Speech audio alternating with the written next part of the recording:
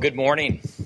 Good morning. It's an honor to be with you here in Holland, and uh, I just want to begin by thanking you for your investment in helping congregations all across this region, all across this country, be places where people with intellectual and developmental disabilities and their families are known and are needed, uh, where they are invited and embraced, and where they're not only served, but they're the ones who are doing the serving. And for those of you who are working within the service system, I just wanted to thank you for your commitment to helping people flourish in all areas of their life educationally, vocationally, relationally, but also uh, spiritually.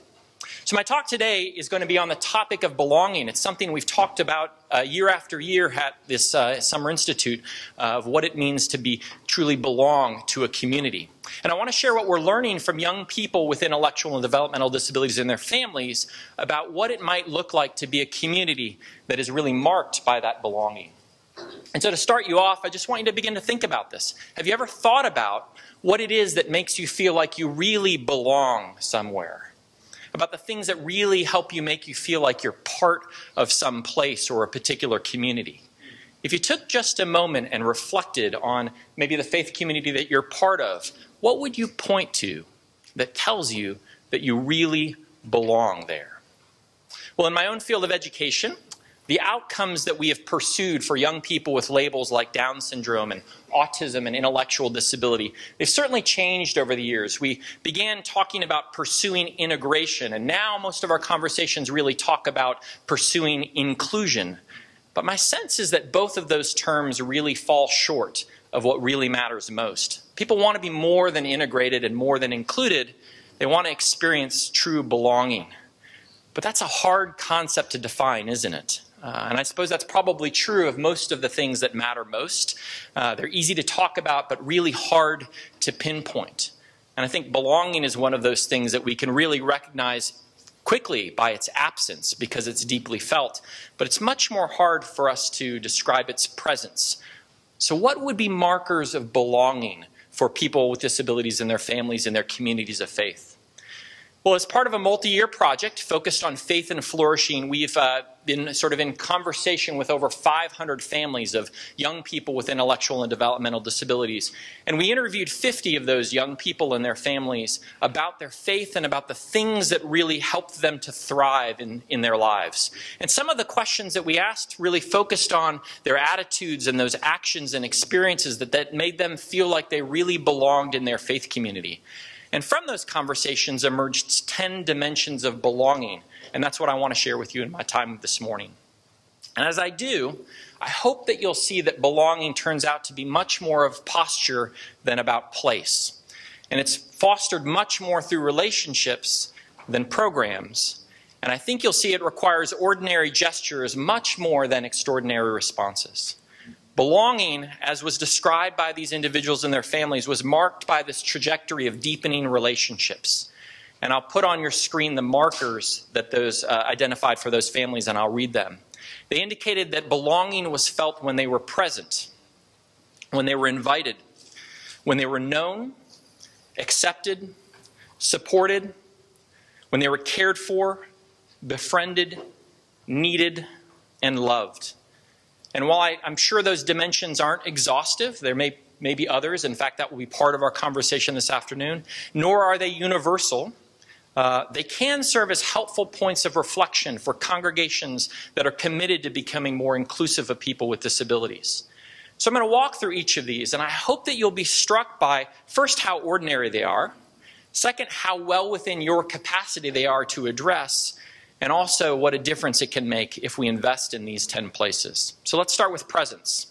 Because belonging begins with presence, and in many congregations, the principal barrier to belonging may simply be the absence of people with disabilities in their families, from worship and learning and service and social activities, all the things that make up congregational life.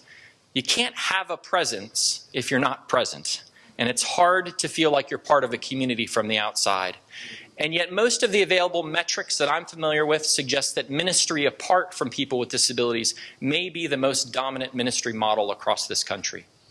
So, think about just a sampling of statistics. And I apologize for those of you who uh, didn't realize I was a researcher and I was going to throw some statistics up, but I feel obligated. Uh, More than half of all adults with intellectual and developmental disabilities who are receiving formal services in our country have not been part of a religious service or any kind of spiritual practice at all in the prior month.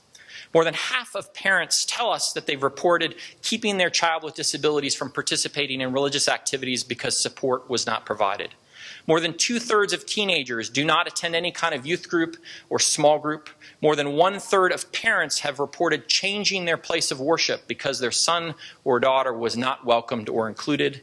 And fewer than one out of every five congregations uh, are said to offer any kind of support to children with developmental disabilities in their religious education programs or to host support groups for families or offer any kind of respite opportunities. What's standing in the way of people being present in the faith community of their choice? Well, there's certainly barriers of awareness and attitude and access. Those are things that we'll be talking about that abound in our congregations, just as they do elsewhere in society. And that also includes architectural barriers. In fact, I think uh, I've shown you this picture. A few years ago at the Summer Institute, I put forward this congregation as the most inaccessible one in the world. Um, it is a church that's built into the side of a large granite mountain with uh, hundreds and hundreds of steps up to it, right? So that prevents presence, certainly. But I was wrong. Um, it turns out there are other congregations that have literally taken inaccessibility to new heights. This is a picture of a church in Italy on the top of a mountain, um, must be several hundred feet high. And then someone sent me this one, which is actually a monastery where one monk lives um, in Georgia, I believe. It's at the top of a granite structure, uh, but you'll notice there is an elevator kind of somehow on the side, right? These pictures always get a chuckle like they did here, but subtler barriers send that very same message. What does your buildings communicate about your theology? What does that one step say to someone about who, who you think about lives in your community. Um, and where does where you gather and how you gather suggest maybe that we're thinking about our community too narrowly. The first element of belonging is, begins with presence. And second, increasing presence requires, of course, extending some new invitations. And belonging often begins with a personal invitation. Because when we're not intentional about reaching out personally into the communities that surround our congregations, we inadvertently leave people out. As one pastor reflected, it's not that we deliberately excluded people with disabilities. In fact, we weren't deliberate at all, and that was the problem. You know, many congregations proclaim that they're welcoming. It's all over, emblazoned on their websites, on their church signs, on their outreach materials.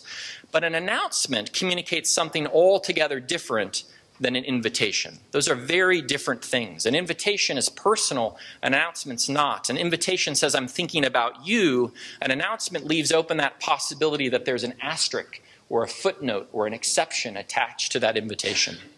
And there have been far too many asterisks attached to our proclamations of welcome.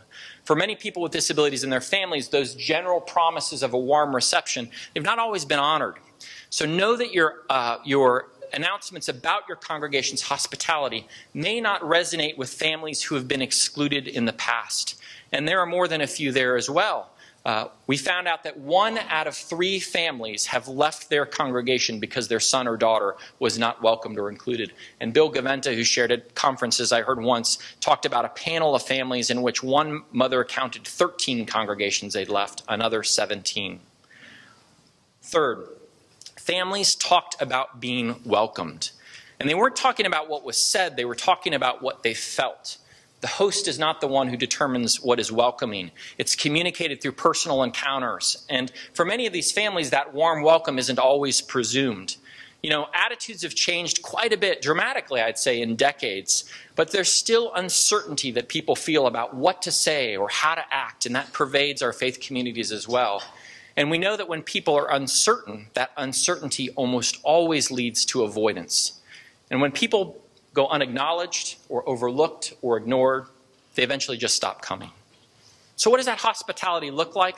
I don't have to tell you how to do hospitality well, but certainly it means greeting families when they arrive and introducing them to others, drawing them into conversations, inviting them to other things that happen in and through your congregation. It's those ordinary actions that really send a powerful message that one of the parents described as we just felt like we were wanted. Now, the principal requirement here, of course, is not disability related expertise or even experience, nor should that kind of welcoming be delegated to your hospitality committee. That's really all of our responsibilities. But there may be times when congregational staff benefit from having a little more confidence about, uh, uh, about uh, guidance on etiquette or language or available congregation resources. Or maybe you have to provide some more specific information about how you welcome someone with complex communication challenges or who behaves in unfamiliar ways or has extensive support needs. A fourth element of belonging that we learned from these families was about being known. Although we're called to welcome the stranger, the stranger's not supposed to remain so for very long. And have you noticed how easy it's becoming in our culture to pass by dozens or hundreds of people week after week on a Sunday or Saturday or whenever you gather and never feel like you're really known? Within our faith communities, people with disabilities are particularly at risk for being known about, but not really being known personally. And that's quite different from just being welcomed. But what we heard from the families, it's not just whether people are known that's an important aspect of belonging, but how people are known that really matters. And so many people with intellectual and developmental disabilities are known first and foremost by their labels rather than by their names. They're known by their deficits uh, rather than by their gifts and their strengths. And the disability service system tends to view people and talk about people in diagnostic terms. But I don't think congregations should adopt that perspective. They should uh, know people in personal and individual ways. If you think about the labels we use in professional circles, and I've put them on the screen, and these are posted online as well, uh, the text of this and descriptions of all of the pictures, you'll see that the labels we use almost always describe people in terms of what they cannot do or what they struggle to do. And so that congregation that says, well, how do we welcome young people with autism in our youth groups? And this is the only image they have of kids with autism. Or the congregation that says, how to be welcoming to individuals with significant intellectual disability, and all they see is significant limitations. Well, that makes for a really hard introduction. So, I don't think there's really a place for those kinds of labels in our faith communities. Because in an earlier part of that same project, we listened to families talk about their sons and daughters, and they talked about strengths and gifts and passions and all sorts of things like that. They described their sons and daughters as possessing qualities like kindness and empathy and humor and gratitude, optimism and forgiveness and courage. And those kinds of descriptions provide a really helpful counterpoint to the prevailing descriptions of deficits and struggles and challenges.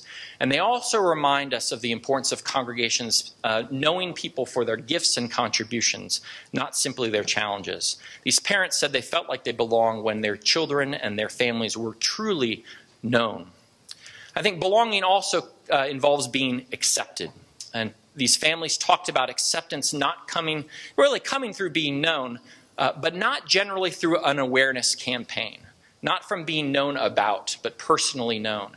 They talked about their child being welcomed without condition, of being treated like family, of being embraced for who they are.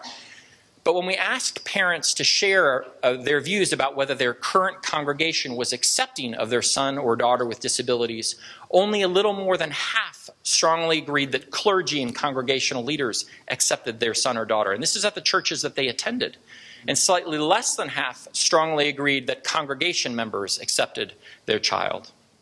So there is a place for congregations to do these formal awareness activities. Sometimes it's that Inclusion Awareness Sunday or curricular units as one avenue for fostering acceptance. But we know that really attitudes change through personal contact, through relationships, not through informational campaigns. And what we've learned about the power of that personal contact highlights the importance of minimizing separate and distinctive programming for people with disabilities because they inadvertently reinforce those perceptions of difference, but they also limit the opportunities for people to ever encounter one another in our congregations and meet in personal ways. And what is communicated from the pulpit will also matter and create this culture of, accept, culture of acceptance. It's that pastor who's completely unfazed when someone answers aloud uh, her rhetorical questions in the sermon. It's that pastor who declares the entire sanctuary a no shush zone.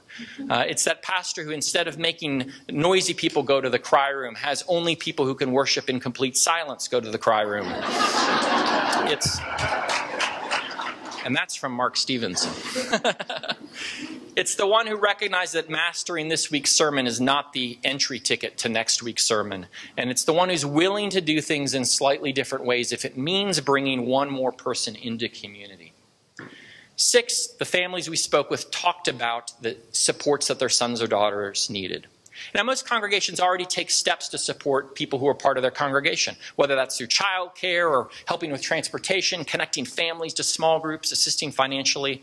Those ordinary supports are also important for people with disabilities and their families. But at the same time, the supports we provide may need to be more intentional or individualized or even uh, more um, intense for some individuals who are part of our congregation. But this is not a place, family said, for making presumptions but rather to invite input.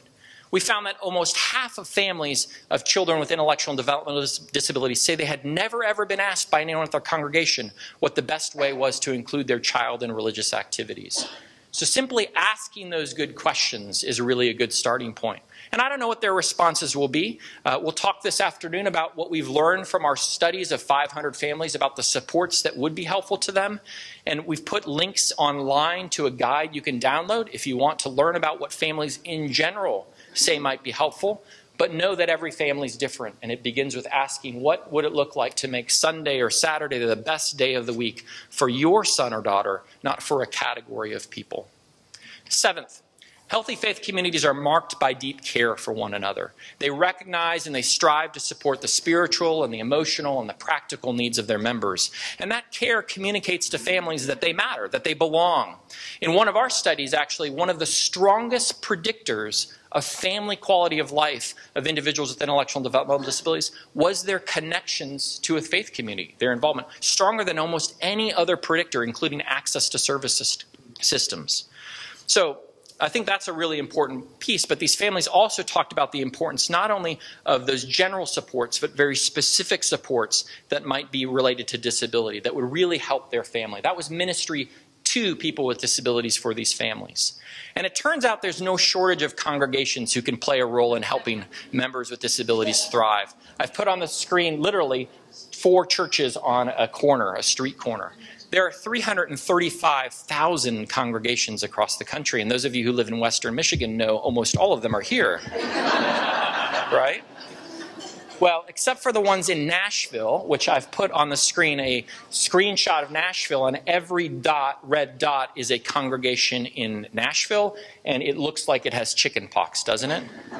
Think about the collective impact faith communities could have. The poverty rate for people with intellectual disabilities is twice what it is for people without disabilities. The employment rate for people with intellectual disabilities is 10%. That's not the unemployment rate, it's the employment rate. Inadequate housing options abound. Twice as many people with disabilities don't have access to reliable transportation.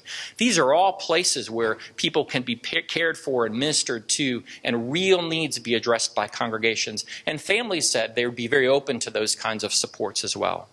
But there's a word of caution that goes with this. The history of disability is replete with examples of well intentioned care being used in wounding ways. And what feels like care for one person might feel like a paternalism for another person. So we want to make sure, like in all areas, we're not beginning with presumptions, but finding out firsthand what individual families might want. And eighth, we're made for relationships the companionship and the intimacy, the reciprocity and support that come from friendships are vital to all of our own thriving. And all of the other dimensions I've mentioned so far can be done in the absence of a close and personal relationship. They can be done at arm's length. But friendship takes belonging deeper. And yet, the friendships that are so fundamental to our own flourishing are so elusive for children and young adults with intellectual and developmental disabilities. One study found that adolescents with autism, half had not been invited to another person's, another peer's event in the entire prior year. Half. And more than one quarter of adults with intellectual and developmental dis disabilities who are receiving supports in our public service system have no friendships uh, or caring relationships beyond their family or the people who are paid to be part of their lives. So I think this really, as we heard from families, highlights the importance of what takes place between Sundays, about life lived together beyond the walls of our congregation. That's what pushes people away from just acquaintances and toward close friendships. Whether that's sharing a cup of coffee, taking a stroll through a park, watching the big game together, joining the same small group. Those are the ordinary gestures that can take place for people that rarely happen outside of our service systems. And once again, it's a place that requires no special training to be able to do. And ninth, the individuals and families that we spoke with came to feel needed uh, when others in the congregation saw them as bringing gifts and talents that benefited the entire community, that made the community itself thrive. That is ministry by people with disabilities, and it reflects a recognition that they, like everyone else, are indispensable members of the body. You know, as relationships deepen, people come to see their need for one another. And for many of the individuals and families that we spoke with, that authentic belonging really was marked by a real reciprocity, where each person brings to and receives from that relationship. I think more and more ministries are investing in ministry to people with disabilities, and that's an important area to invest in. But many are struggling to move to the place of ministry by people with disabilities. People with intellectual disabilities are still seen as the designated recipients of service and outreach, and those roles of giver and receiver are far too static and predetermined. And certainly people with disabilities will benefit from what a faith community has to offer, but it's also true in the story we probably need to tell that faith communities have much to gain by encountering the faith and the friendship and the gifts of people with intellectual and developmental disabilities. I think that's why I love this church sign so much. Uh, I stopped uh, by take this picture. I was on the way to my child's school a couple years ago, and I think it's the posture these families wish every congregation would adopt as they think about their community. It says, read 1 Corinthians 12, we need you here ASAP. I think when we think about the conversations here, it, it, it, really suggests that faith communities are incomplete without the presence and participation of people with disabilities. And when we're convinced that that's true, when we're really convinced that's true, we no longer think of inclusion as something that's nice to do because it's good for someone else. We see it as something that actually strengthens our community. We're no longer satisfied to wait until people show up to welcome them. We start going into our communities and pursuing people with personal invitations. We move beyond trying to tinker and retrofit our congregations to make them work and we start designing what we do at the outset with a broader sense of our community in mind. And we also make people with disabilities and their families not an afterthought, but a real forethought as we think about all that we do. And finally, the 10th dimension that they mentioned uh, is love. And lest you worry that a social scientist is about to lecture on love, never fear. I'm not going to do that. So. I don't have to explain what love has to do with belonging. Uh, many of you are familiar with the writings of Wolf Wolfensberger, who was a real pioneer in our field. He offered the observation that healing for wounded people with disabilities begins with three messages that you are valuable, that you are as valuable as any other person, and that you are loved by those around you. So, belonging, simple, right? But also so complex. And why I ordered those 10 dimensions in a way that really do imply this deepening progression, it's not a hierarchy. Each one has special importance to these families, and each is linked to every other dimension. For example, being present and welcomed and known, uh, that is the foundation for future relationships that uh, you might have with others. But each on its own isn't sufficient for belonging. Likewise, it's hard to be befriended and needed and loved if you're not present or you're known by others in your community. So, where does that leave us? Well, I hope you will agree that what these families and individuals shared seem to shatter some of the myths that I think are so widely held, whether they're spoken or just implied in our actions. So, I'm going to leave you with four of those myths I hope these shatter. First, of course, is that uh, these dimensions of belonging seem to me to reflect ordinary needs far more than special needs, don't they? Conversations about disability ministry so often accentuate the new or distinct efforts congregations should undertake to support the presence and participation of people with disabilities. But the themes from these families strike me as relevant to supporting the belonging of anyone. Their familiarity and their broad resonance maybe offer a reminder that the deepest needs of people with intellectual disabilities and their families aren't special at all, but really quite universal. The difference may be in the intentionality that we need to apply as we seek to meet those needs. So maybe we need more universal needs ministries than special needs ministries. And second, a myth I've actually never heard spoken, but seems so reflected in our practice that people need programs more than relationships, right? Because the initial inclination of so many congregations is to start a new ministry program or some other specialized experience. And I think in many ways they're mirroring what we see in broader culture and the broader society as we specialize our employment and our educational and our residential settings. And these are often segregated and distinct efforts that stand apart from every other congregational activity. But that means that opportunities to be welcomed and known and befriended and needed become inadvertently limited. So when we prioritize relationships, we only then do formal programming when it enhances belonging, and we abandon it when it doesn't. And third, myth three, is that you need some sort of special training or advanced degree to promote the kinds of belonging that we've talked about and heard from these families. Not so, the markers identified by these families are well within the capacity of any congregation. And finally, I know what you're thinking. I hear you. This really sounds like this ought to be something that faith communities are invested in. But you know, we're just not sensing a call on our congregation, right? And besides, there's lots of other congregations that are doing disability ministry pretty well. Maybe we could just kind of have a ministry of referral here. Would that be all right? Right? So that's myth four that someone else should be definitely investing here. Actually, that's not a myth. Someone else should be investing, but so should you, right? Uh, that someone else includes uh, you as well. So I hope what we've learned from these families provides a helpful points of reflection for congregations that really are desiring to be a place of hospitality where people with disabilities and their families, indeed everyone, can really feel like they belong. So how might the attitudes and the actions of your congregation members and its leaders aim towards each of those aspects of belonging? What would be the steps that you would take to become places where all families and their members are welcomed and accepted, cared for, known, befriended, needed, and loved. Well, you're in the right place today and throughout this week because as you listen to the conversations all throughout this conference, start listening closely for those next steps that you might take, for the practices you might pursue, for the stories you might share, and the people with whom you partner as you strive to become a community that's marked by belonging for all of your members including people with disabilities and their families. Thank you.